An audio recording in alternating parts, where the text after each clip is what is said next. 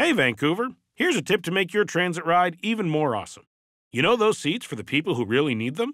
They're for the people who really need them. So if you don't really need them, don't sit in them. And if you're like me, you could probably use the exercise anyway. Thank you for using Translink.